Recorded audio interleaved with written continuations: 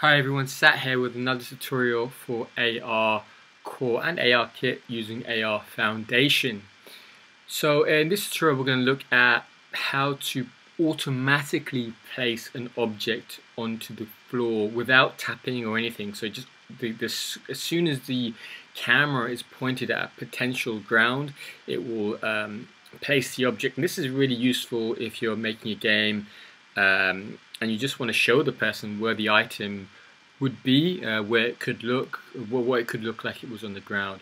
Uh, so this was requested um, on the on the comment section. It's been a while since I got back to people, so I decided I'd, I'd start doing that now. And um, yeah, before I get started again, thank you for the comments. I've only just did this one like a day after the other one, so I didn't expect to at least get something. But thank you, thanks again for the comments. I appreciate appreciate that. I really do mean it. I, I do do this because of the comments and, and and the likes and, and the subscriber counts was going up. So I thank you for that.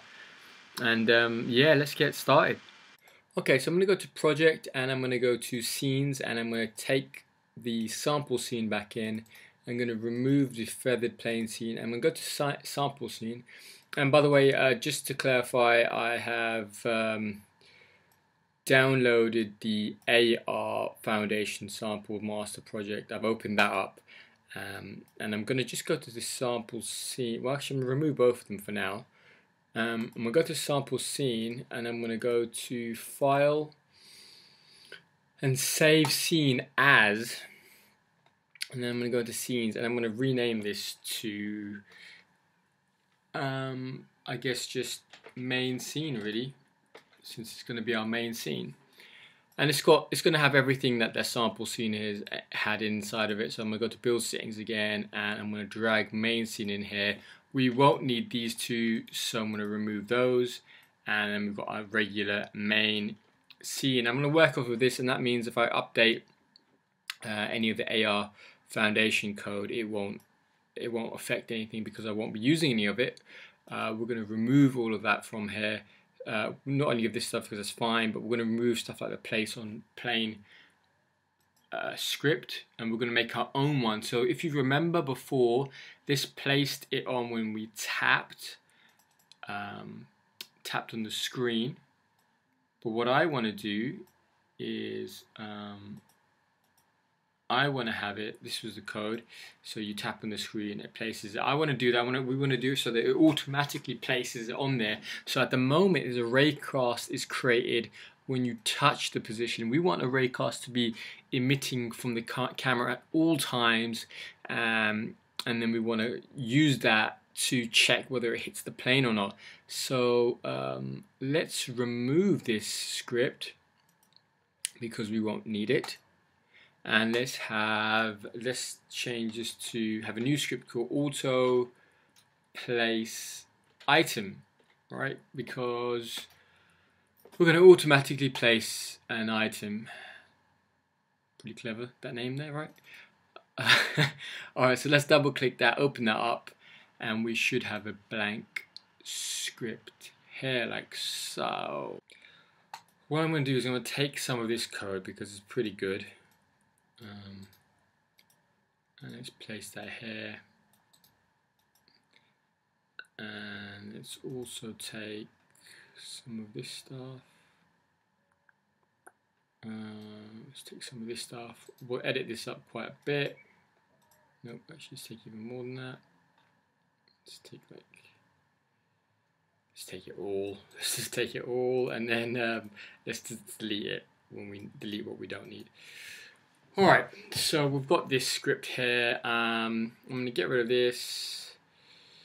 I'm going to get rid of tooltip, serialized field stuff. It's all useful stuff. I'm going to have here, I'm going to do public and I'm going to call this game object. I'm going to name this to game object to place right? So this will be a game object that we place. And we'll actually place we'll actually set this through different scripts later on. Then we'll keep this uh, that's fine.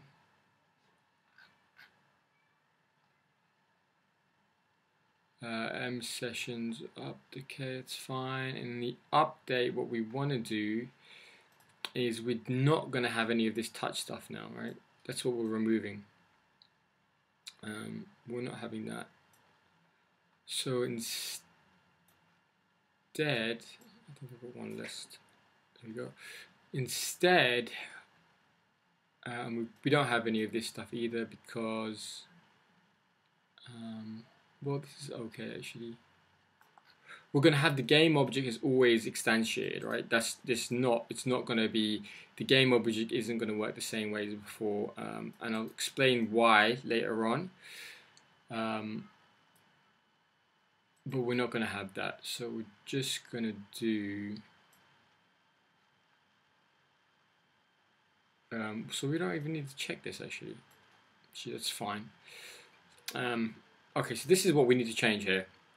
Instead of it, the, the ray cast being from the touch position, we want it to be from the camera, the main camera. Now, our camera is marked as main camera, and because of that, it means we can make a call to the main camera by going uh, camera dot not that camera not type camera dot main dot and now we want to do is the viewpoint to ray since we're going to create a new ray here from the, the camera viewpoint and we want that to be in the middle of the screen so to do that we'll just do f 0.5 f F. Now that should get the main camera, create, um, get the middle of the, the main camera. Actually, this should be zero because the z-axis is going to be zero since it's it's not going to be in 0.5 pixels, half of the screen size. In front of it, there's there's no forward. It's just a flat 2D screen, right? Um, so we have X. So imagine this is the screen here. This is kind of the camera view, right? Uh, this is the camera view. Uh, let me change this to skybox. This is the camera view. We want it to be 0.5 in the X and 0.5 in the mid in the Y, which is in the middle. So z and zero in the Z axis, not moving forwards or backwards. Just want to be flat against the screen. That's going to be the middle of the screen. That's going to be the position that we're using. And then everything else is the same, really. Um, the difference here is now we want to do the game object to place dot position dot transform sorry dot position is equal to hit pose dot position is it? I think it might be that. It's hit point of position. Um, I think so. Yeah, I think that's it. Hit point of position. So now that should get the, the game object that we're going to place and we're going to we can change this game object. So at the moment if we go back to script um, we'll see the game object is empty. Now what I want to do is I don't want to instantiate this game object at the start of the game. I'm actually going to have this game object there at all times. Um, which I know is a bit strange for now. I know that you might be thinking, hey, why are you doing that? But um, I'll explain later. The main reason is because as these game objects get more complicated, it just takes more time. It takes us like a split second to instantiate game objects. And what I'd rather do is just have them loaded in at the beginning of the game. And then once they're loaded in the beginning of the game, we can kind of shift them around, move them around. I'm going to set active to false as well. Um, now that is kind of counterproductive because that means that it's going to take time to load, but we'll sort that out later in the future. For now, I'm going to put that in there like that. So, uh, and so the other thing I want to do is once it finds the pose and changes the pose to set there, I'm going to do game object um, dot set active true here. Um, we could do a little if statement as well to make sure we don't um, dot active. So if not active, then set to true. So this will only happen, code will only happen it's not active. It sets to true and now it's always active. Um, so now we just want to make sure there's no errors here.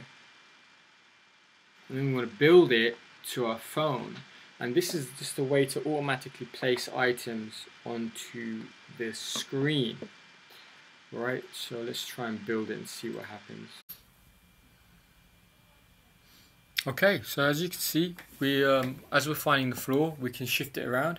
And I'm not tapping the screen, I'm just moving the screen. And it's, it's found the middle of the screen and it's automatically trying to place it on the floor, um, which is which is great. And if I, in this place, in this case, it has is losing the floor a little bit. that's fine. If I try to take it off of the floor like that, it stays in the last place. Now that wasn't intentional, but that's pretty cool. Anyway, that worked. That works out quite well. What you'll notice though is it's super jittery. Um, and that is not a good thing. So we want to look at fixing that in the next tutorial.